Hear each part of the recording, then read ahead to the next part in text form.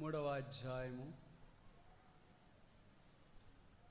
పదినెనిమిదవ వచ్చినాం కలిసి చదుదాం two Corinthian chapter three reading all together verse eighteen Bible ఉన్నవాళ్ళు చదవగలిగిన వాళ్ళు ఈ భాగాన్ని బిగ్గరగా చదవాలి.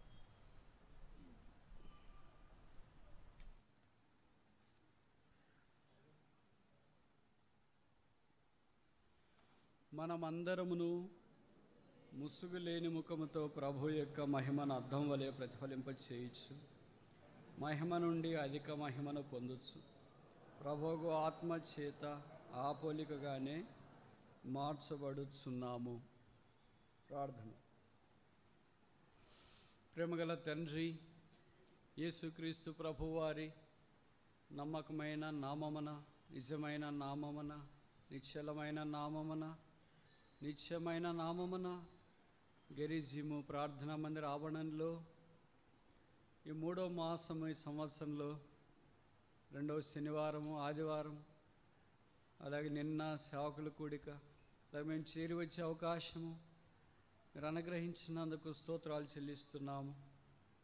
నేను కొంతమంది ఆయా స్థలాల నుండి సేవకులు వచ్చి ప్రార్థనలో గడపటానికి మీరు ఇచ్చిన అవకాశం కొరకై మీకు స్తోత్రములు చెల్లిస్తున్నాము. రక్షించబడిన వారు ఇంకా మీ కొరకు ముందుకు సాగిపోవటానికి వీలు కల్పించమని ప్రార్థన చేస్తున్నాను ఇప్పుడు మీ దాసుడు దాసురాల కుటుంబాన్ని మీరు సేవలో ఉంచుకున్నారు కలిసి పనిచేస్తున్నా జత పని వారిని బట్టి మీకు వందనాలు చెల్లిస్తున్నా. మీ దాసుడు యాకోబు గారు తెచ్చిన ఉద్దేశము మీ దాసుని పక్షం నెరవేర్చము తండ్రి. అందరూ కలిసి సమిష్టిగా ఈ స్థలములో చుట్టుపక్కల ఎన్నడు దున్నని బీడభూములు. నీళ్ళ కొరకే తప్పిస్తున్న బీడభూములు. దాహము కొరకు ఎదురు చూస్తున్న జీవజలముల ఊటైన యేసు ప్రవహించబడినట్లుగా మీరు సహాయం చేయండి. వందనములు చెల్లిస్తూ మా సమయాన్ని మీరు దీవించి పెట్టమని సమీప దూర ప్రాంతాల నుండి వచ్చిన మీ ప్రజలను బట్టి స్థుతిస్తూ యేసు నామమున ప్రార్థన చేస్తున్నాము తండ్రి.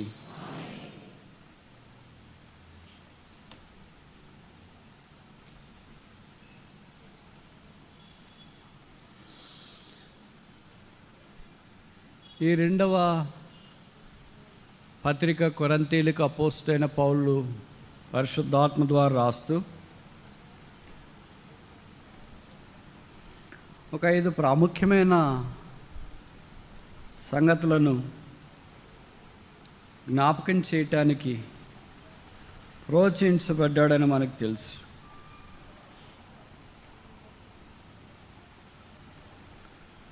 దాంట్లో the names of the believers never mention except in this supposal ఈ పత్రికలో తప్ప మిగతా పత్రికల్లో ఎక్కడా విశ్వాసులకు పెట్టని గంభీరమైన పేర్లు పరిశుద్ధాత్మ ద్వారా ఇక్కడ పెట్టబడినట్లు మనం చూస్తాం. నాలుగు పేర్లు ప్రాముఖ్యంగా ఉన్నాయి. నాలుగు చెప్పను రెండు చెప్తా. అవి కూడా మీకు తెలుసు. మొదటిది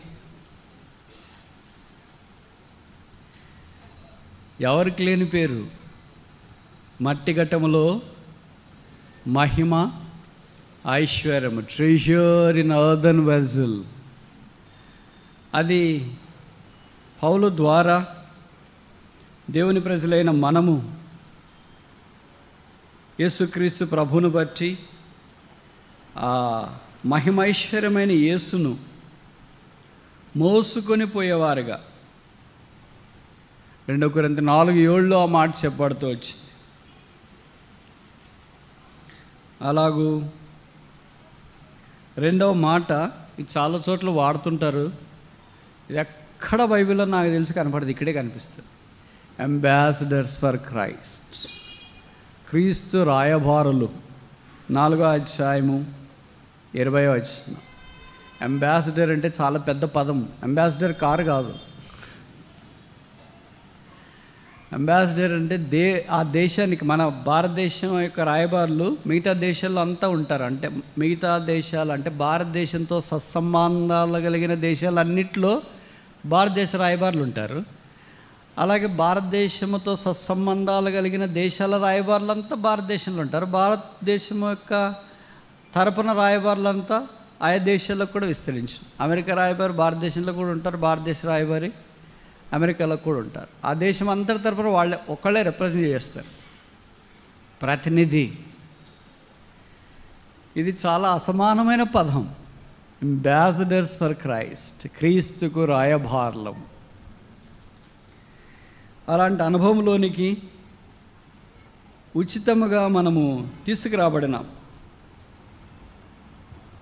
రెండవది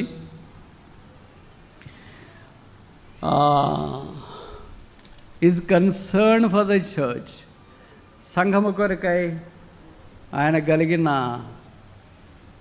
పట్టింపు. పదకొండు ఇరవై ఎనిమిది.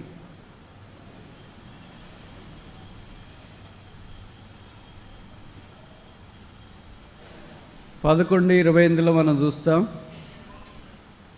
ఇవి గాక సంగములన్నిటిని కూర్చిన చింత. సంగములన్నింటిని కూర్చిన చింత అంట. ఇది వేరే భక్తులకు అంత తేలిక అనిపించదు. కానీ పౌలుకు ఈ చింత ఉంది. మనకేం చింత ఉంటుంది? యేసుప్రభు చెప్పినాడు కొండ మీద ప్రసంగంలో ఏం తిందమా ఏం తాగదమా ఏం కట్టుకుందమా ఇది మన మూడు చింతల యొక్క క్యారెక్టర్స్. లేకపోతే దీని గురించే చింతిస్తా. చాలా అరుదుగా మీలాంటి భక్తులు తప్ప. సంఘాన్ని గురించి చింతించేవాళ్ళు. పౌలు ఈ సంఘముల గురించి చింత కలిగిన వాడని జ్ఞాపం చేయబడుతుంది. అందుకే మన చింతలన్నీ భౌతికమైన దాని మీద ఉంటే మనం ఈ అనుభవంలోనికి రాలేమని గుర్తుంచుకోవాలి. మూడవది పాల్స్ రెవలేషన్స్ పౌలు యొక్క ప్రత్యక్షతలు నాకు కలిగిన ప్రత్యక్షతలు అనేకములు ఉన్నాయి. అని పౌలు అన్నారు. మనకేంటంటే ఉన్నది కూడా పోద్ది. ఉన్నది కూడా పోగొట్టుకుని ఉంటాం అందుకే ఆయన చాలా ప్రత్యక్షతలు రాసినాడు. తీతకి రాస్తున్నాడు.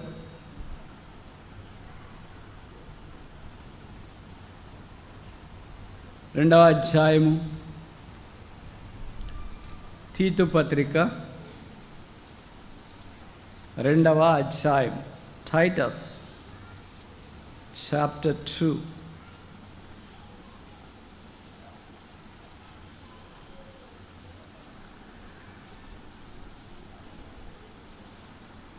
verse eleven రెండు పదకొండు. ఏలైనగా సమస్త మనుషులకు రక్షణకరమైన ప్రత్యక్షమైనప్పుడు. ఇది మొదటి ప్రత్యక్షత. పౌలకు అనేక ప్రత్యక్షతలు ఉన్నాయి కానీ కనీసం ఐదు వాక్యంలో మనం చూస్తాం. దాంట్లో మొదటిది ఏంటంటే యేసుక్రీస్తు దేవుని కృప అనే ప్రత్యక్షత ఆయన పొందినవాడు. The revolution of Jesus Christ is the grace of God ఇవన్నీ ఆలోచిస్తున్నప్పుడు వారు ఎంత ఆత్మీయమైన లోతుల్లోనికి వెళ్ళారు? మనం ఎంత ఆత్మీయమైన దరిద్రతలో ఉన్నాము అని అనిపిస్తూనే ఉంటుంది. ఈ ఆత్రి ఆత్మీయమైన దరిద్రత నుండి తప్పించబడి ఆత్మ సంబంధమైన ధనవంతులు కావాలని పౌలు ఇచ్చేయించినాడు అందుకే ఈ ప్రత్యక్షతల ద్వారా వారు అలాంటి అనుభవంలోనికి వచ్చుట దేవుని యొక్క దయాపూర్వకమైన సంకల్పం. ఇప్పుడు నాలుగవది ఈ మాట పౌలు కొరంతీలకు ప్రత్యేకంగా చెప్పాడు. ఏంటి ఆ మాట అంటే మనకి ఇది చాలా పరిచయమే. దేవుడు ఉత్సాహముగా ఇచ్చువానిని ప్రేమించును. రెండవ కొరంతి తొమ్మిది ఏడు. God love at the cheerful giver. కొంతమంది అంటారు మన భక్తులు డబ్బులు ఇమ్మని మందిరానికి డబ్బులు ఇవ్వండి విశ్వాసులకు డబ్బులు ఇవ్వండి అని అడగడం ఏంటి బ్రదర్ అని అన్నారు.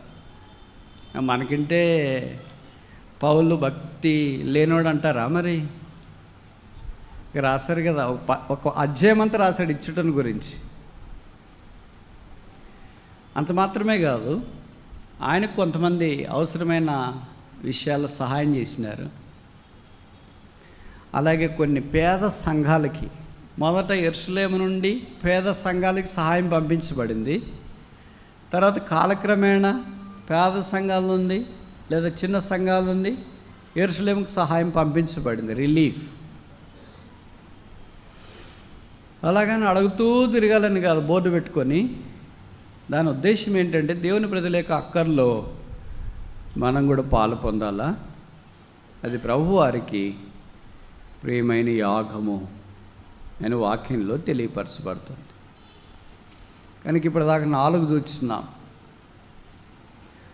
ఈ పత్రిక యొక్క విశిష్టతను జ్ఞాపం చేసే సంగతులు.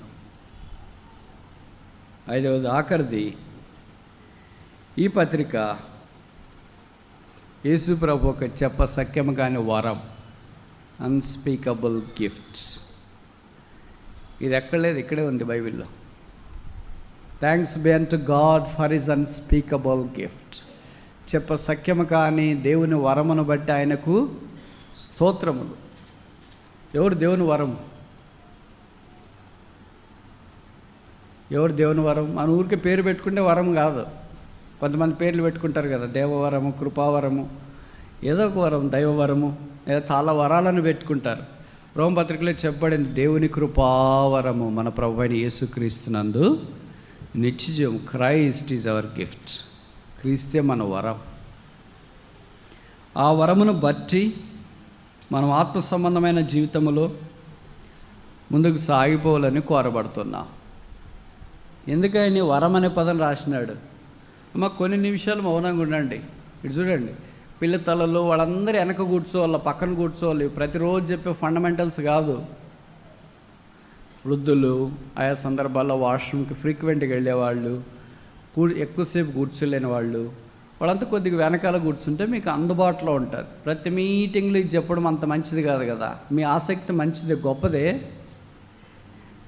మీ ఆసక్తిని బట్టే ముందుకి పిల్లల జల్ల అందరిని తీసుకొని వస్తున్నారు. మీ ఆసక్తికి తగినట్లు పిల్ల జల్లా ఉండాలి కదా. వాళ్ళు ఉండలేరు కదా. కనుక వాళ్ళు ఎలాగైనా అల్లరి చేస్తారు కదా. అలా అల్లరి చేసినప్పుడు మరి ఏం చేయాలా? తీసుకెళ్ళాలి బయటికి? అందుకనే వెనక కూర్చుంటే అది తేలికైతుంది. ఈవెన్ ప్రతిసారి చెప్పడము మాకు ఇబ్బంది వినడం మీకు ఇబ్బంది మామూలు మందిరానికి రానిరని బయటికి పోయి మళ్ళీ దానికి కోటింగ్ ఇచ్చుకొని కవరేజ్ ఇస్తారు. దాని తర్వాత మనం కూర్చోవద్దని చెప్తారు. ఆ మందిరంలో ఇట్లా ఈ మందిరంలో ఇట్లా అని. ఏ మందిరంలోనైతే క్రమశిక్షణ గురించి చెప్తారో ఆ మందిరం అంటే ప్రజలకు పడదు. మీరు ఎక్కడన్నా కూర్చోండి ఎట్లన్నా కూర్చోండి ఎవరు ఎక్కడన్నా కూర్చోండి అని అంటారు. అబ్బా ఎంత బాగుంది వెదర్ అక్కడ. పరలోకమండి ఎంత బాగుందండి ఎవరు చెప్పారండి? బ్రదర్స్ ఎంత ఇట్టి కూర్చోండి సిస్టర్స్ అంత ఇట్టి కూర్చోండి యవనస్తులు ముందు కూర్చోండి. మధ్య వయసు మధ్యలో కూర్చోండి పెద్ద వయసు వెనక కూర్చోండి పిల్లలు వెనక కూర్చోండి అని చెప్తే వాళ్ళు ఎప్పుడు క్రమం గురించి చెప్తారు వాక్యం చెప్పండి వాళ్ళకి వాక్యం రావట్లేదు అందుకే చెప్తున్నారని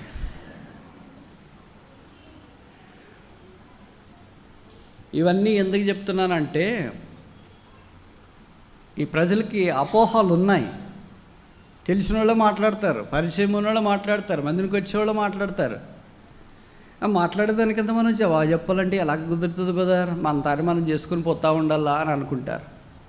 మీకు చెప్పనా ఒక విషయము?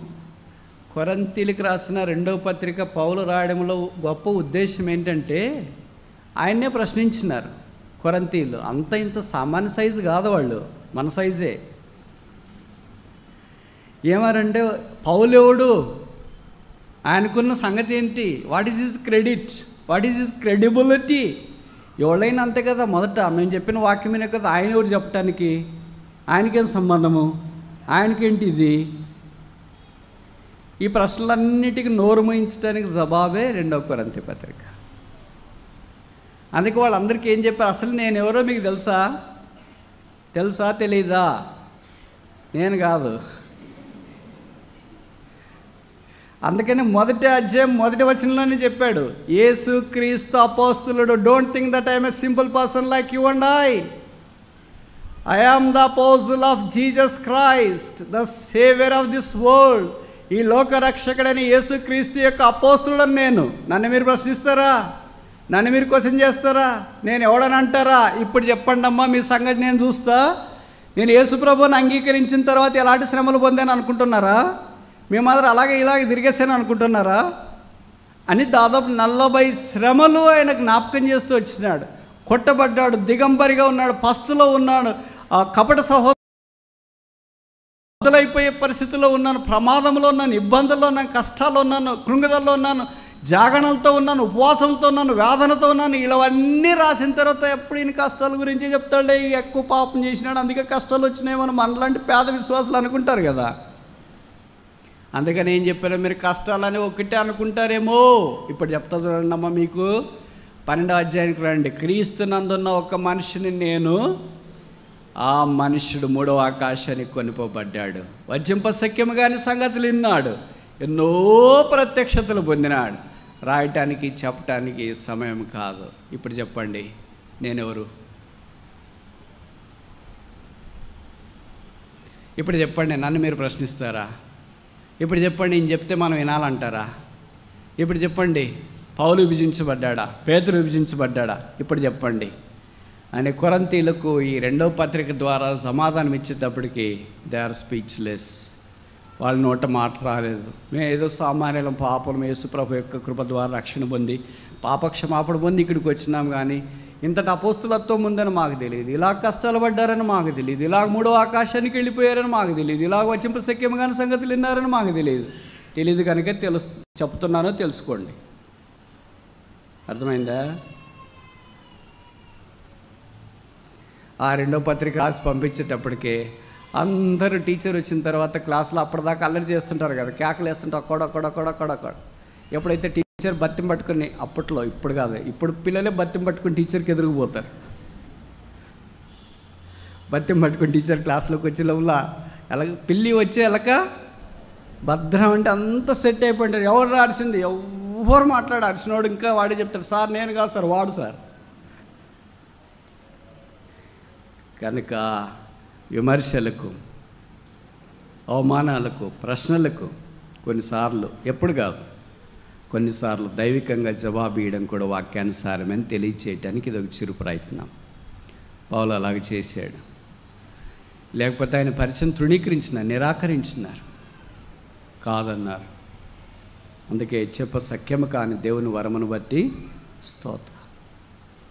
కొరంతి పట్టణం నేను ఇందాక చెప్పాను కదా సముద్ర తీరాన్ని ఉంది మధ్యధర సముద్ర ప్రాంతంలో.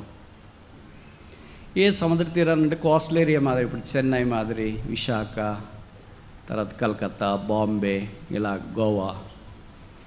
ఎక్కడ అలాగుంటుందో అన్నీ ఎక్కువ ఉంటాయి అర్థమైంది కదా మీకు?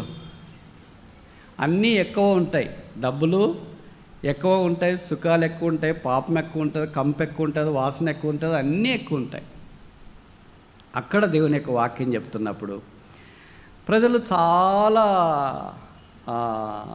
ఆసక్తితో వచ్చినారు. కొంతమంది బాగా రక్షణ పొందినారు. పెద్ద ధనవంతులే మీ మాదిరి. ఇంత ధనవంతులు అయిపోయేటప్పటికి వాళ్ళు ఎవరైనా వివాహ కార్యక్రమాలకి పుట్టినదినాలకి శుభకార్యాలకి వెళ్ళేటప్పుడు మనమైతే గిఫ్ట్ గిఫ్ట్ తీసుకెళ్తాం కదా. గిఫ్ట్ అంటేనే అర్థమవుతుంది. వేరే తెలుగు పదం వాడితే అర్థం కాదు.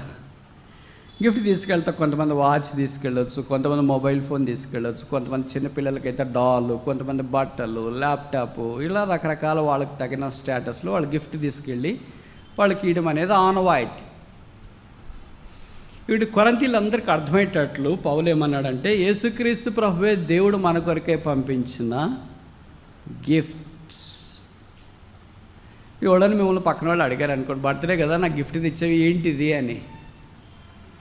మామూలుగా మనం ఏమంటామంటే దాంట్లో యూజ్ అండ్ త్రో పెన్ ఉన్నా మంచి కవర్ ఇచ్చి సస్పెన్స్లే యూజ్ అండ్ త్రో పెన్కి సస్పెన్స్ ఏంటి? మనం అంత గిఫ్ట్లు సస్పెన్స్ అని పెడుతుంటాం. ఇంకా పవల్ అన్నాడు ఈ లోకంలో గిఫ్ట్లన్నీ చెప్పొచ్చు. పలానా ఇది వాచ్ గిఫ్ట్ ఇచ్చారు బట్టలు గిఫ్ట్ ఇచ్చారు మొబైల్ ఫోన్ గిఫ్ట్ ఇచ్చినారు మా తర్వాత కెమెరా గిఫ్ట్ ఇచ్చినారు అని ఒక గిఫ్ట్ ఇచ్చిన ఐటెం పేరు చెప్పొచ్చు. కానీ యేసుక్రీస్తు ప్రభువును అలాగే చెప్పటానికి లేదు. అన్స్పీకబుల్ చెప్పసఖ్యము కాని వరం. ఎందుకు ఈ పదం ఆయన వాడాడంటే ఆ దినాల్లో కొరంతి పట్టణం ఇందాక చెప్పాను కదా మంచి వ్యాపార కేంద్రం విశ్వాసం చాలామంది ధనవంతులు క్రైస్తవేతలు కూడా చాలామంది ధనవంతులుగా ఉన్నారు. పెద్ద అగ్ని ప్రమాదం సంభవించింది కొరంతి పట్టణంలో. ఫైర్ ఫైటర్స్ తక్కువ ఉన్నాయి. అంటే అగ్నిమాపక దళాలు తక్కువ ఉన్నాయి. అటు ఇటు మీ మాదిరి బయట ఉన్నోళ్ళు వాళ్ళు ఏం చేశారంటే బ్యాంకులు లేవు కనుక బంగారం ఇంతింత తీసుకెళ్ళి ఇక్కడ వేసుకునేది కాదని ఇంకా ఎక్స్ట్రా ఉంటుంది కదా. ఎక్స్ట్రా ఉండేది అంతా తీసుకెళ్ళి ఇళ్ళల్లో పెట్టుకున్నారు. అప్పుడు బీరువాలు కూడా లేవు కదా. అందుకని ఇళ్ళల్లో పెట్టుల్లో అక్కడ ఇక్కడ పెట్టుకున్నారు. ఈ అగ్ని ప్రమాదం జరిగి ఏమైపోయిందంటే ఇళ్ళ ఇళ్ళని కాల్చేస్తూ వచ్చింది కాల్చేస్తూ వచ్చింది. ఇళ్ళ లోపట ఉన్న ఏం చేశారంటే బయటకు వచ్చేసరికి కట్టబట్టలతో బంగారము వెళ్ళగలిగినవి తీసుకోవటానికి కూడా టైం లేదు. బతికితే చాలని బట్ట కడితే చాలని బతక దేవుడు అని బయటకు వస్తారంటారు కదా తెలుగులో సామెత. అలాగ వాళ్ళు బయటకు వచ్చేసారు బయటకు వచ్చేటప్పటికి వాళ్ళ ప్రాణాలతో బయటకు వచ్చినామని ఇల్లు వదిలిపోరు కదా. పోబుద్ది కాదు. మనసంతా ఇంట్లో ఉంటుంది లోతు భార్య మాదిరి. మనిషి మాత్రము బయట ఉంటాడు కనుక ఇంటి దగ్గర అలాగా చూస్తుంటే ఇళ్ళు ఇళ్ళు ఇళ్ళు ఇళ్ళు అలా దావానంలా కాలిపోయింటే మిగతా చెక్క ఇవన్నీ ఎక్కువ వాడుతున్నాయి కదా కట్టేది. కాలిపోయింటే ఇప్పుడు బంగారం ఏమైందంటే లిక్విడ్ ఫామ్లోకి వచ్చింది. సాలిడ్ ఘన పదార్థములో నుండి ద్రవ పదార్థంగా మారింది. ఇంక మీకు బాగా అర్థమయ్యే భాషలో చెప్పాలంటే బెల్లం పానకం మాదిరి అయింది. బెల్లం పానకం మాదిరి అయితే పానకం యొక్క లక్షణం ఏంటో తెలుసా? ద్రవం యొక్క లక్షణం ఏంటంటే ఎత్తైన ప్రాంతంలో నుండి పల్ల ప్రాంతంలోనికి ప్రవహిస్తుంది. అందుకే నీరు పళ్ళ మెరుగు నిజము.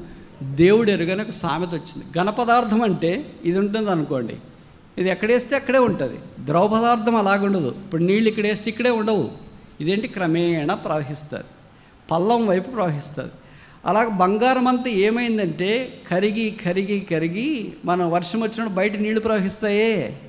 నేను ఈ మాట చెప్తే మీరు అనుకోవచ్చు బ్రదర్ కొరంతి పట్టణానికి వెళ్ళొస్తామా? అని. ఆ బంగారం కరిగి కరిగి ఇళ్ళలో నుండి బయటికి బురద మాదిరి వస్తుంది. బంగారు బురద. ఎవరి ఇళ్ళలో నుండి వచ్చేస్తుంది పట్టుకోవడానికి ధైర్యం చేయట్లేదు. ఎందుకంటే మంటలు వచ్చేసినా బాగా కాలుతుంది కదా. కాలేదు పట్టుకుంటే ఏమైంది చేతులు కాలిపోతాయి. అందుకని ఎవరింటి దగ్గర వాళ్ళు నిలబడి చూస్తున్నాయి ఎప్పుడు ఆగిపోద్ది ఎప్పుడు ఆగిపోద్ది ఎప్పుడు ఆగిపోతుంది మా బంగారం పోయి వేరే వాళ్ళ దాంట్లో కలుస్తుంది వేరే వాళ్ళది పోయి మా దాంట్లో కలుస్తుంది. మాది మంచి బంగారము మాది జ్యువెలరీస్ హైదరాబాద్ కళ్యాణ్ జాయిలకర్ జైన్స్. మలబార్ ఇలాగ ఎలాగెలాగా వాళ్ళు అనుకుంటా ఉన్నారు. ఇవన్నీ మాది కదా దాంట్లో కలుస్తుంది దాంట్లో కలుస్తుంది అనుకుంటే మరి మొత్తానికి దేవుడి దయ వల్ల అగ్ని ప్రమాదం తగ్గిపోయింది. తగ్గిపోయేటప్పటికీ ఈ- ఈ ద్రవ పదార్థం ఏమైందంటే మళ్ళా ఘనీభవించి ఏమైంది? ఘన పదార్థంగా మారింది. తెలుగు అర్థమవుతుందా మీకు? మారిన తర్వాత ఇంకా కొద్ది కొద్దిగా ముద్దలు చేసేటట్లు వస్తుంది కదా.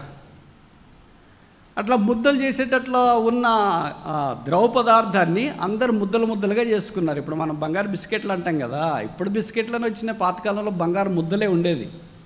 కనుక అలా ముద్దలు ముద్దలు ముద్దలు ముద్దలుగా చేసి వాళ్ళ ఇళ్ళలో పెట్టుకున్నారు. ఇప్పుడు రూపం పోయింది వాటికి. వాళ్ళు ఇంతకు ముందు ఏది రూపం అనుకున్నారో తర్వాత రింగులు అనుకున్నారో నెక్లెస్ అనుకున్నారో బ్రాస్లెట్ అనుకున్నారో అడ్డాణం అనుకున్నారో ఏ రూపం అనుకున్నారో ఆ రూపాలన్నీ పోయినాయి. ఇప్పుడు ఒక ముద్ద అయింది.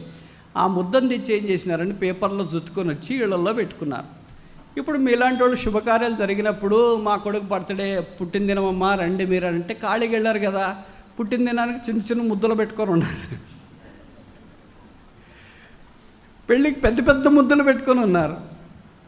పెళ్ళి తర్వాత యానివర్సరీలు ఉన్నారు. దానికి కూడా యావరేజ్ మీడియం సైజు ముద్దలు పెట్టుకొని ఉన్నారు. ఎవరైనా వెళితే గిఫ్ట్ ఇవ్వటానికి అని.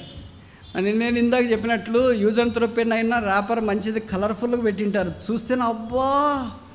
రాఫరే స్టన్నింగ్. లోపల ఎలాగుందో అనుకుంటాం. మేము చాలా దీనంగా చేసి ఇలాగ ఇలాగ ఇలాగ ఇలాగ చెప్తా ఉంటే లోపల ఏమొచ్చింది? యూజ్ అండ్ త్రో పెన్ వచ్చింది. అలాగే వీళ్ళు తీసుకుని వెళ్ళి వాళ్ళకి పెద్ద ర్యాపర్ పెట్టేసి ర్యాపర్ అంటే పైన పేపర్. ఆ పేపర్లు బాగా కలర్ పేపర్లు రంగరంగుల పేపర్లు పెడతారు కదా. నేను చెప్పే స్టూడెంట్స్కి బాగా అర్థమవుతుంది. ఎందుకంటే వాళ్ళు మామూలుగా చేసేది నెలలో పనులు ఇవే. అలాగే తీసుకెళ్ళి వెళ్ళి పుట్టినదినం అంటే పుట్టిన వాళ్ళు గిఫ్ట్ ఇచ్చేవాళ్ళు పెళ్ళి అంటే పెళ్ళికి గిఫ్ట్ ఇచ్చేవాళ్ళు పెళ్ళి దినం అంటే పెళ్ళికి గిఫ్ట్ ఇచ్చేవాళ్ళు అంట ఇవన్నీ పౌలు చూసి ఏం చెప్పినాడంటే ఏం తెచ్చారమ్మా గిఫ్ట్ అంటే ఏం ఏం చెప్తారు? బంగారం తెచ్చినాం బంగారం తెచ్చినాం బంగారం తెచ్చినాం అని అందరూ అనుకుంటా ఉంటే అప్పుడు పౌలు అన్నాడంట ఈ ఓఫీరు బంగారం కంటే భూ సంబంధమైన బంగారం కంటే పరసంబంధమైన బంగారం అన్స్పీకబుల్ గిఫ్ట్ జీజస్ క్రైస్ట్ ఒక్కసారి కొరంతీల మైండ్ బ్లాంక్ అయిపోయినాయి. మేము ఇప్పటిదాకా చెప్పే వరాలన్నీ ఈవులన్నీ ఏంటి? చెప్పగలిగేవి. బంగారం తెచ్చినాం నగలు తెచ్చినాం తర్వాత ఉంగరం తెచ్చినాం వడ్డాణం తెచ్చినాం బ్రాస్లెట్ తెచ్చినాం ఇలాగ పాపిడి బెళ్ళలు తెచ్చినాం ఏదో బెళ్ళలు తీసుకొని వచ్చినామని చెప్పేవాళ్ళు ఉన్నారు కానీ what is this nameless gift దీనికి ఉంగరం అని పేరు పెడదామా బ్రస్ బ్రా- ఏంటి బ్రాస్లెట్ అని పేరు పెడదామా వడ్డాణం అని పేరు పెడదామా చైన్ అని పేరు పెడదామా నెక్లెస్ అని పేరు పెడదామా నల్లపూసల దండని పేరు పెడదామా ఏమని పేరు పెడదాం దీనికి? ఇట్స్ ఏ అన్స్పీకబుల్ గిఫ్ట్ చెప్ప సఖ్యము కానివారా ఆయన యేసుక్రీస్తు ఆ ప్రభుని గురించి వారికి పరిచయం చేయటానికి పరిశుద్ధాత్మ దేవుని ద్వారా ఆయన చేసిన చిరు ప్రయత్నమే కొరంతీలికి రాసిన రెండవ పత్రిక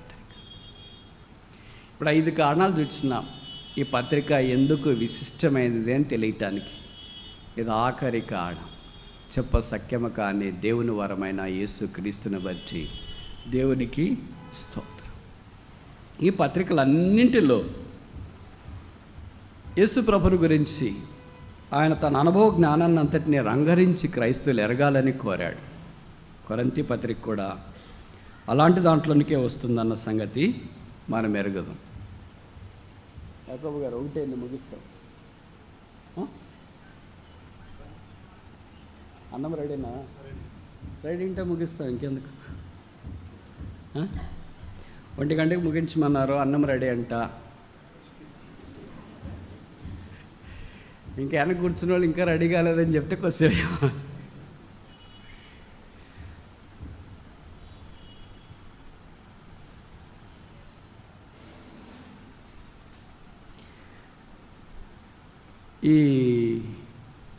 ప్రభు యొక్క సంగతులను మనం మరలా మరలా ఎరగాలని మనకి జ్ఞాపకం చేస్తున్నాడు. అందుకే ప్రభు యొక్క మహిమను ఆయన మహిమ దాదాపు ఐదు రకాలుగా కొరంతి రెండవ పత్రికలో జ్ఞాపకం చేయబడుతూ వచ్చింది. దాంట్లో ఒకటి ఏంటంటే గ్లోరీ రిఫ్లెక్షన్ అద్దం. వాళ్ళే ప్రతిబింబింపజేయడం. అర్థం అంటే నేను ఒక ప్రశ్న అడుగుతా. అర్థం అంటే నాకు ఇష్టం లేదు అని చెప్పే సిస్టర్స్ ఎవరైనా ఉంటే చేయొద్దండి బ్రదర్స్ కాదు. నేనైతే వారంకి ఒకసారి అర్థం చూసుకుంటా షేవింగ్ చేసుకునేటప్పుడు. మీరైతే అద్దము చూడని దినం దాదాపు లేచిన వెంటనే చేసే మొదటి పని అది పడుకునేటప్పుడు చేసే ఆఖరి పని అదే. కొంతమంది నేను చూసిన ప్రయాణాల్లో పక్కన కూర్చున్న వాళ్ళు అక్కడ కూర్చున్న వాళ్ళు ఎవరో ఉంటారు కదా. వాళ్ళు పర్స్ మాదిరి వ్యాలెట్ మాదిరి ఉందిలే అని అనుకుంటాం ఇది. కానీ దాంట్లో ఒకటి పెట్టింటారు ఇన్సర్టెడ్ మిర్రర్. దాంట్లో కూడా అర్థం పెట్టి చూసుకుంటుంటారు. ఎన్నిసార్లు చూసుకున్నా అదే ఫేసేగా? ఎట్లా అద్దంలో చూసుకున్నా డ్రెస్సింగ్ టేబుల్ అద్దం పెద్ద దాంట్లో చూసుకున్నా అదే చిన్న దాంట్లో చూసుకున్నా అదే మీ ఇంట్లో అద్దంలో చూసుకున్నా అదే బయట వేరే వాళ్ళ అద్దంలో చూసుకున్నదే ఏం చూసుకున్నా ఏ అద్దంలో చూసుకున్నా ఇదే రూపమే. దేవుడిచ్చిన రూపం దైవ రూపం అద్దం మన యొక్క నిజస్థితిని పక్షపాతము లేకుండా చూపిస్తుంది. భార్య భర్త పిల్లలన్నా కొద్దిగా ఎక్కడైనా పక్షపాతం చూపిస్తారేమో. కొన్నిసార్లు భర్త అడుగుతుంటుంది కదా డ్రెస్ వేసుకున్నా. బాగుందా డ్రెస్ ఈరోజు? చాలా బాగుందండి. అసలు డ్రెస్కి మిమ్మల్ని బట్టి కళ వచ్చింది అనుకోండి అది మాసిపోయి చెమట పట్టిపోయి ఉంటుంది ఏం చెప్పాలి నన్ను బాధపడతాడని అలాగ చెప్పేసానక్క అనేసి పక్క.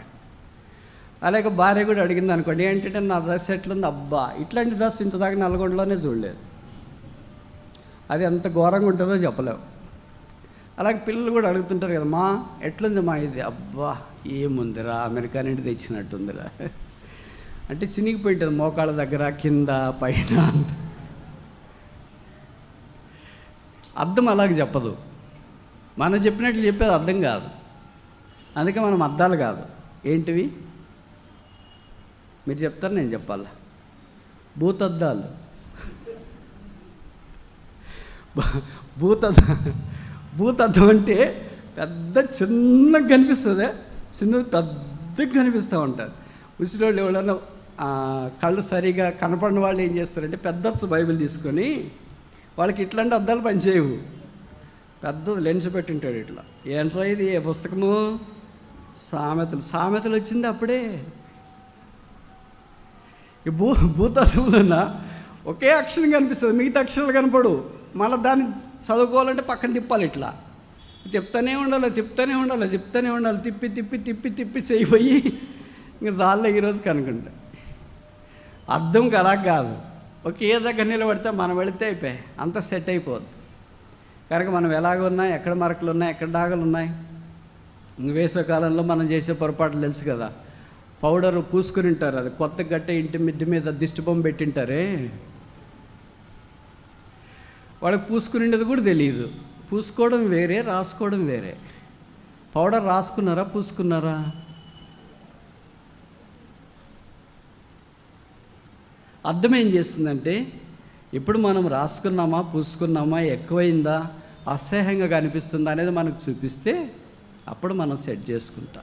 దేవుని వాక్యం కూడా అలాంటి అర్థం వలె పనిచేస్తుంది. బైబిల్లో అర్థం అనే మాట మొదటి ఒక సందర్భంలో మనకు కనిపిస్తుంది. ఇంగ్లీష్ బైబిల్ ప్రకారం అంటే గ్లాస్. తొమ్మిది సార్లు వాడబడింది. మరి తెలుగు బైబిల్కి వచ్చేటప్పటికి వేరే పదం వాడుతూ వచ్చినారు.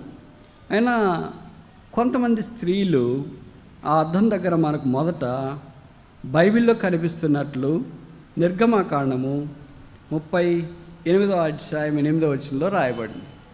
Exodus chapter thirty eight verse eight. నిర్గమకాండం ముప్పై ఎనిమిది ఎనిమిది. అతడు ప్రత్యక్ష గుడారం యొక్క ద్వారమున సేవింపవచ్చిన సేవకురాన్ల అద్దములతో ఇత్తడి గంగాళమును దాని ఇత్తడి పీటను ఎవరు అద్దాలు అంటే అర్థమేంటి? అద్దం వారికి చాలా ప్రియమైన ప్రాపర్టీ. అది ఎవరైనా ఇస్తారా? గిఫ్ట్గా వేరే వాళ్ళకి. కానీ ఇక్కడ చేయబడింది ఏంటంటే ఇక్కడ చెప్పబడిన మాట ఏంటంటే అలాంటి దానితో ప్రభు యొక్క ప్రత్యక్ష గుడారానికి అవసరమైన పరికరములు చేయబడినట్లు వ్రాయబడుతూ వచ్చింది. ఎక్కడ అద్దం ఉందో అక్కడ సాధారణంగా దువ్వెన కూడా కనిపిస్తుంది. దువ్వెనలు రకరకాలు ఉంటాయి. రకరకాల దువ్వెనలు కూడా మనం వాడుతూ ఉంటాం.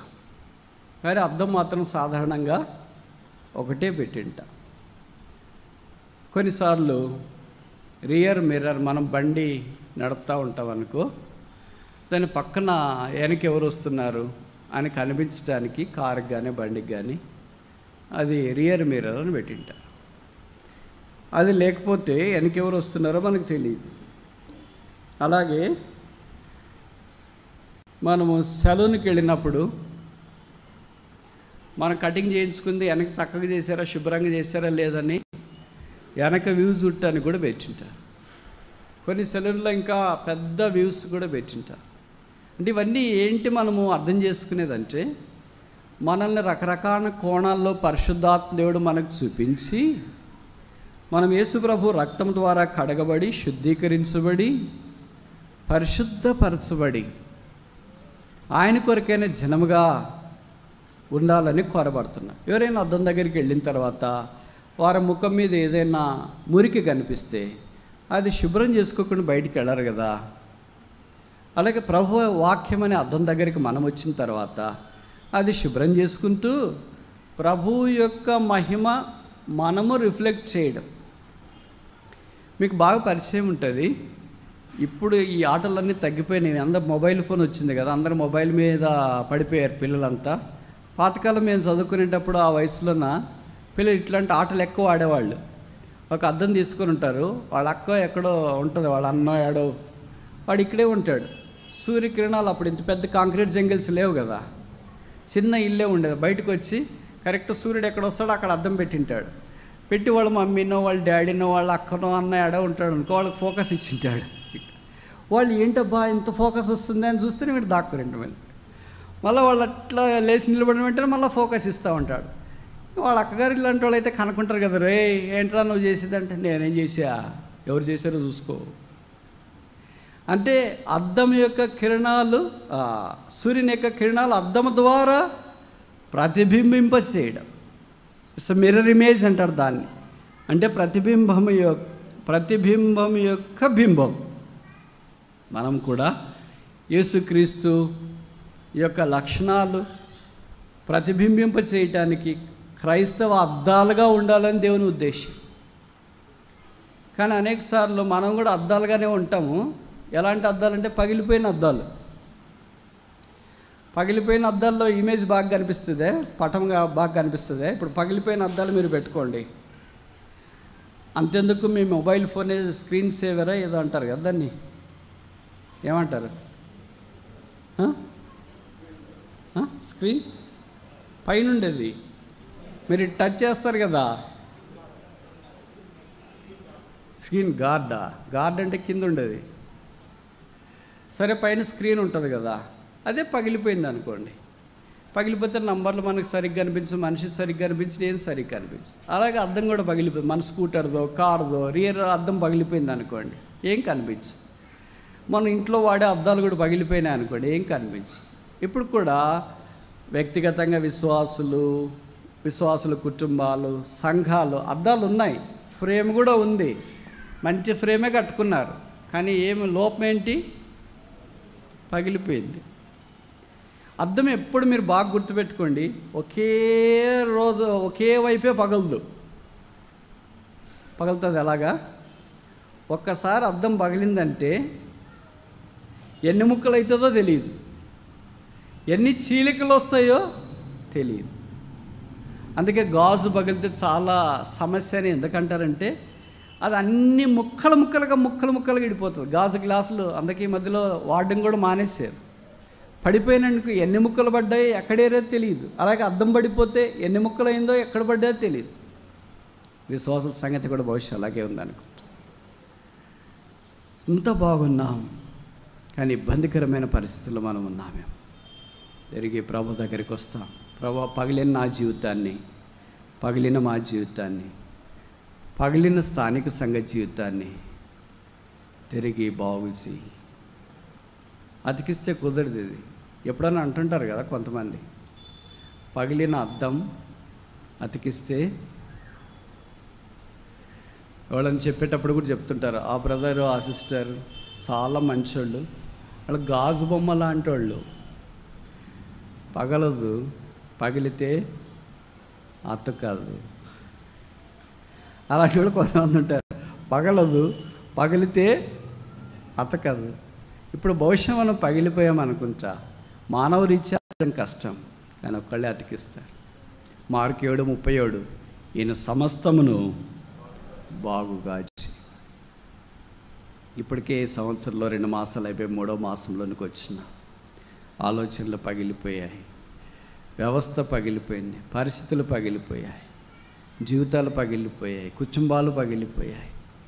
కొంతమంది మాకు ఫోన్లు చేసి బాధపడుతుంటే సమాజము విశ్వాసులు ఇంత పగిలిపోయిన జీవితాలు broken families broken hearts broken relationships broken hearts పగిలిన గుండెలు పగిలిన కళలు పగిలిన జీవితాలు పగిలిన సంబంధాలు. పగిలిన సమాజాలు పగిలిన స్థానిక సంఘాలు. ప్రభు ఎవరు బాగు చేస్తారు నీవు తప్ప? ఎవరు చక్క చేస్తారు నీవు తప్ప? ఎవరు దీన్ని అతికిస్తారు నీవు తప్ప? పగిలిపోయిన మనల్ని అతికించుట కొరకాయి ఆయన శిలువ మీదకి వెళ్ళి మన కొరకై ఈజ్ బ్రోకన్ పగిలిపోయాడు. విరిగిపోయాడు. ఇంగ్లీష్ బైబిల్లో రాయబడి బ్రూయిస్ట్ విరగగొట్టబడ్డాడు. ఆయన శరీరం మరి కాలు మొదలుకొని అన్నెత్త దాకా దున్నబడింది. ఆయన దేహంలో కించిత్ కూడా రక్తం లేకుండా మనందరి కొరకు ఆయన రక్తం కాచాడు. యేసు రక్తము పగిలిన మన జీవితాల్ని బాగు చేయగలదు. అతికించగలదు. కడిగి శుద్ధీకరించగలదు. ఈ మధ్యాహ్నం తిరిగి ప్రభు దగ్గరికి వస్తామా? ఎన్నో కుటుంబాలు జీవితాలు వ్యక్తులు సమాజాలు చెప్పుకోలేనంత ఇబ్బంది ఎంత తక్కువ చెప్తే అంత మంచిదనే పరిస్థితి కొంతమంది ఒక సామెత కూడా ఉంది కదా ఏం చెప్తాం బ్రదర్ కడుపు చించుకుంటే కాళ్ళ మీద పడుతుందనే పరిస్థితి ఉంది భర్తను గురించి ఏం చెప్పాలా భార్యను గురించి ఏం చెప్పాలా కొడుకుని గురించి ఏం చెప్పాలా కూతుని గురించి ఏం చెప్పాలా బోధకుని గురించి ఏం చెప్పాలా సంఘాల గురించి ఏం చెప్పాలా విశ్వాసం గురించి ఏం చెప్పాలా సంఘ పెద్దల గురించి ఏం చెప్పాలా సంఘ సేవకుల గురించి ఏం చెప్పాలి ఎవరిని గురించి ఏం చెప్పాలి బ్రదర్ ఏం చెప్పినా ఏం లేదు. ఎవరికి ఏం చెప్పుకున్నా ఎవరు బాగు చేయలేరు. ఒకే ఒక్కడు బాగు చేస్తారు దేని కాలమందు అది చక్కగా చేయటానికి ఒకే ఒక్కడి భూమి మీదకి దిగి వచ్చిన బా బైబిల్లో రాయబడింది అన్నిటికీ కుదుటబాటు కాలము వచ్చు. కుదుట పడతాయి పరిస్థితులు. ధైర్యం తెచ్చుకో. ఏడ్చావు ఏడ్చావు ఏడ్చావు కృంగిపోయావు ఇంకేడ్చడానికి శక్తి లేదు. పోరాడావు పోరాడావు ప్రభుత్వం ఇంక పోరాటానికి కూడా శక్తి లేకుండా అయిపోయింది. ఏం చేయాలో దుఃఖదోచిన పరిస్థితి. ఎన్నిసార్లు ప్రార్థన చేసినా ఇంకా ప్రార్థనకు ప్రతికూలంగానే జవాబులు వస్తున్నాయేమో అన్నట్టుగా మనకు అనిపిస్తుంది. ఒకట అంతరంగంలో పోరాటం బయట పోరాటం ఇంట్లో పోరాటం ఆఫీస్లో పోరాటం మందినికి వచ్చిన పోరాటం సమాజంలో పోరాటం. ఎక్కడ చూసినా పోరాటం. ప్రభు నేను కూడా మనిషే కదా ఎంత పోరాటాలను భరించాలా? ఎన్నం తట్టుకోవాలా? నాకు కూడా ఎలాస్టిక్ లిమిట్ దాడిపోతుందేమో అన్నట్లుగా మనకు అనిపిస్తూ ఉంటుంది. అయితే ప్రభుకు స్తోత్రాలు. ఆయన శోధింపదగిన కన్ దానికంటే ఎక్కువగా ఆయన మనల్ని శోధింపాలి. ప్రభు నమ్మదగిన వాడు అని కొరంతి పత్రికలోనే రాయబడింది. ఆయనకు మన లిమిట్ మన యొక్క పరిధి తెలుసు. ఆయన సకాలంలో మన దగ్గరికి వస్తాడు. మన చేయి పట్టుకుంటాడు. కన్నీరు తుడుస్తాడు. గాయం కడతాడు. కొంతమంది ప్రియమైన వారిని పోగొట్టుకున్న వాళ్ళు ఉన్నారు. ఏం చేయాలో దిక్కుదోచిన వాళ్ళని పోగొట్టుకున్న వాళ్ళు ఉన్నారు చదువులో ఓడిపోయిన వాళ్ళు ఉన్నారు వ్యాపారంలో నష్టపోయిన వాళ్ళు ఉన్నారు సేవల్లో ఇబ్బందుల్లో ఉన్నవారు ఉన్నారు కుటుంబాలు భంగమైన వారు ఉన్నారు భర్తలు వదిలేసిన వాళ్ళు ఉన్నారు భార్యలు వదిలేసిన వాళ్ళు ఉన్నారు అబ్బా సమస్యల సుడిగుండంలో కొట్టి మిట్టాడుతూ ఏం చేయాలో దిక్కుదోచక నీవే శరణ్యమని ప్రభు యొక్క పాదాల దగ్గర పడి గోసాడుతున్న వారు ఉన్నారు ఏ సందర్ని ఎరిగినవాడు ప్రతి వారి బాష్ప బిందువులు ఆయన తుడిచివేస్తాడు. ఈ మధ్యాహ్నం అలాగొచ్చావా? ప్రభు నా కన్నీరు ఎవరు తుడుస్తారు? నా జీవితాన్ని ఎవరు బాగు చేస్తారు నా పగిలిపోయిన గుండెల్ని ఎవరు చక్క చేస్తారు నేను ఏ కాకినైపోయాను. కౌజు పిట్ట వలే అయ్యాను. మిన్నల్లి వలే అయ్యాను. చెకుముకి రాయి వలే అయిపోయాను. నా ఆర్తధ్వని ఎవరు వింటారు? నా అంగలార్పు ఎవరు వింటారు? అయితే ఒకే ఒక పరిష్కారం. సెలవులో వేలాడదీయబడిన ఆ రక్షకుని కంటే మన కష్టపోయిన ఆయన కోటి సూర్య తేజస్సు కంటే మిక్కిలి ప్రకాశమైన వాడు. మన కొరికే చీకట్లో మూడు గంటలు వేలాడినాడు. మన చీకటి ఒక లెక్క. ఆయన దేవునితో దేవదూతులతో సదాకాలం ఉన్నవాడు అలాంటి వాడు సెలవుల్లో ఒంటరైపోయాడు. మన ఒంటరితనము ఆయన ఒంటరితనంతో పోల్చుకోవడం సాధ్యమేనా? మనకు బట్టలు ఉన్నాయి కట్టుకోవటానికి. ఉండటానికి గూడు ఉంది తినటానికి భోజనం ఉంది తాగటానికి నీళ్ళు ఉన్నాయి అయ్యా అబ్బా అంటే దగ్గరికి వచ్చి ప్రార్థన చేసి పరామర్శించే వాళ్ళు ఉన్నారు లోకరక్షకుడు శిలలో వేలాడుతున్నప్పుడు నీళ్ళు అడిగితే చిరక విషయం ఇచ్చినారు అది సమాజం. ఆయన వేసుకున్న బట్టలు ఇంకా వేసుకోవటానికి బదులుగా దాన్ని తీసేసినారు. ఆయనతో ఉండేవారు పరిగెత్తి వెళ్ళిపోయారు. దేవుడు ఆయన మీద పాపం మోపిన కారణం చేత నా దేవా నా దేవ నన్ను ఎందుకు చేయి భూమికి ఆకాశానికి లోకరక్షకుడు. ఒక్కడుగా వేలాడదీయబడ్డాడు అంతకంటే ఒంటరితనం అనుభవించే వాళ్ళు ఇక్కడ ఎవరైనా ఉన్నారా? యేసుప్రభు కంటే నా ఒంటరితనం ఎక్కువ. యేసుప్రభు ప్రభు కష్టాల కంటే నా కష్టాలు ఎక్కువ. యేసుప్రభు ఆకలి కంటే నాకు ఎక్కువ ఆకలి. యేసుప్రభు ఇబ్బందుల కంటే నాకు ఎక్కువ ఇబ్బందులు. నేను ఒంటరినే నాకు ఎవ్వరు లేరు అని మనం అనుకుంటా అంటే దేవుడు తాను కూడా మన కొరకై మన అన్ని బాధల్లో ముందుగా అనుభవించడానికి వెళ్ళాడు. ఇప్పుడు ఆయన పరలోక స్థలంలో ఆశండ అన్నాడు ఆయన చేసిన వాగ్దానం నేను నిన్ను విడవను ఎడబాయ్ ధైర్యం తెచ్చుకో. ఆయన కన్నీరు తుడుస్తాడు గాయాలు కడతాడు. పగిలిపోయిన జీవితాలను బాగు చేస్తాడు. భర్త దూరం అయ్యాడు భార్య దూరం అయ్యారు పిల్లలు దూరం అయ్యారు కొడుకు దూరం అయ్యారు కన్నవారు దూరం అయ్యారు నీ కొరకు ప్రార్థన చేసేవారు సహాయపడేవారు దూరం అయ్యారు దైవమా ఇది ఏమి బాధ? ఇది ఏమి గుండెపోటు? ఇది ఏమి బల్లెపు పోటు?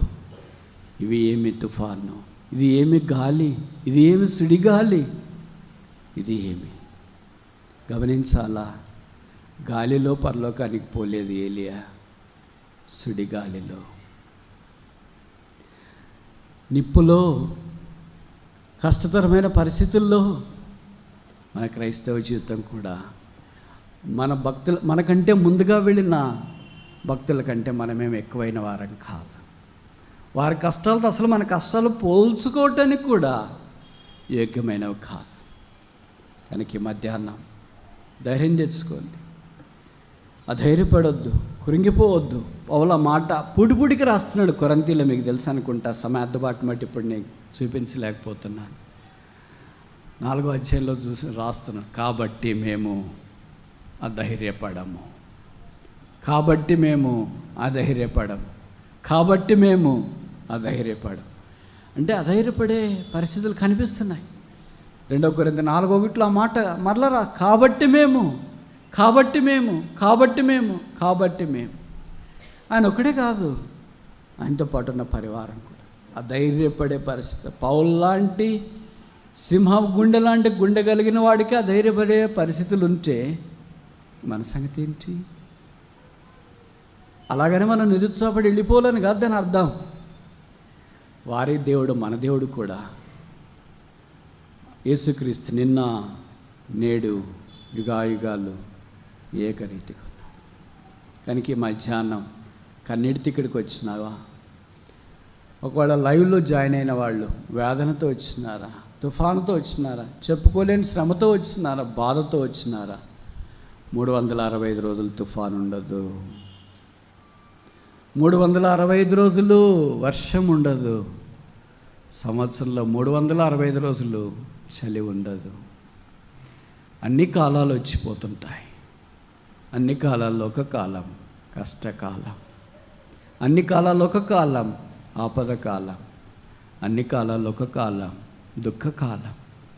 అన్ని కాలాల్లో ఒక కాలం ఇబ్బందుల కాలం. అన్ని కాలాల్లో ఒక కాలం నష్టకాలం. పౌలు అన్నాడు మేము తరం పడుతున్నాను ఉపాయం లేని వారం కాదు. దిక్కులేని పరిస్థితిలో ఉన్నాను అపాయంలో ఉన్నాను మేము అధైర్యపడేవారం కాదు. మేము మేము మేము మేము ఏ టీమ్. కనుక మనకంటే ముందుగా భక్తులు వెళ్ళారు. మనము తరం పడుతుండొచ్చు. మనము అవమానపరచబడుతుండొచ్చు. మనము నిందలు గుండా వెళుతుండొచ్చు మనము ఇబ్బందులు గుండా వెళుతుండొచ్చు అయితే మన ప్రధాన యాజకుడు మన కొరకై విజ్ఞాపన చేస్తున్నాడు గనక. ఆయన వెళ్ళిన మార్గంలో మనం వెళుతూ ఆయన మహిమను ప్రతిబింబింప చేయొచ్చు ఆయన అన్ని రకాల మహిమలు ఒక మహిమ శిలువ మహిమ the glory of the cross. ఆ శిలువ మహిమ ఆధ్యాత్మికమైన మహిమ పరసంబంధమైన మహిమ దివ్య మహిమ దైవాన్వితమైన మహిమ. అలాంటి దాంట్లో నీకు మనం రావాలని దేవుని యొక్క ఉద్దేశం. ఈ మధ్యాహ్నము సిలువ మార్గమే మనకు శరణ్యం. సిలువే మన తాగుచోటు. సిలువే మన ఆశ్రయము. సిలువే మన దుర్గము. సిలువే మన నీడ. యాభై ఏడవ కీర్తన మొదటి వచ్చిన కీర్తనకాడన్నాడు. ఆపదకాలము తొలగిపో వరకు నేను నీ రెక్కల చాటున శరణజొచ్చి ఉన్నాను. శరణం ఎవరికి? ఉక్రెయిన్లో యుద్ధంలో ఉన్న వాళ్ళు బయట దేశాలకు శరణార్థులకు వెళతారు. శరణం ఎవరికి? అపాయంలో చిక్కున్న వాళ్ళకి కష్టాల్లో ఉన్న వాళ్ళకి కోలుకోలేని వాళ్ళకి ఇంక వారు తిరిగి సమకూర్చిపోలేని వాళ్ళకి శరణం అవసరం. ఆ శరణమే మన యేసుక్రీస్తు ప్రభు. కనుక మధ్యాహ్నం శిలువ దగ్గరకు వచ్చి మనల్ని మనం తిరిగి ప్రభు ప్రతిష్ఠించుకుందాం. ప్రభు అనేకసార్లు నా బాధలో ఇబ్బందులో నా వేదనలో నా కృంగుదల్లో నేను నేను దూరంగా వెళ్ళిపోవాలని అనుకున్నాను. కీర్తనకాడ కూడా అదే అన్నాడు కదా ఎక్కడికి వెళ్తాను ప్రభు? అనుకుంటాం. నాకు తెలిసి మీరు ఇక్కడ చాలామంది అనుకున్నారు. ఈ సంసారం విడిచి వెళ్ళిపోవాలనుకున్నాను ఈ ఊరు వదిలేసి వెళ్ళిపోవాలనుకున్నాను. ఈ మానవ జాతిని వదిలేసి వెళ్ళాలనుకున్నాను. ఎవరు లేని స్థలాలకు వెళ్ళిపోవాలని అనుకున్నాను మనం అనుకోకమునిపే బైబిల్లో చాలామంది అనుకున్నారు అలాగా. ఎక్కడికి వెళ్తాను ప్రభు? సముద్రంలోకి వెళ్తే నువ్వు అక్కడ ఉన్నావు. ఎక్కడికి వెళ్ళినా నువ్వు ఉన్నావు కదా. నీ నుండి నేను ఎలాగ తప్పించుకుంటాను? కనుక తిరిగి నీ పాదాలే నాకు సరే. ఆయన కన్నీరు తుడుస్తాడు ఆయన గాయాలు కడతాడు ఆయన బాగు చేస్తాడు. ఆయన శిలవ మహిమ ప్రతిఫలింపజేస్తూ ఆయన కొరకు సాక్షులుగా జీవించినట్లు ప్రభువు మనకు సహాయం చేయని కాక ప్రార్థన.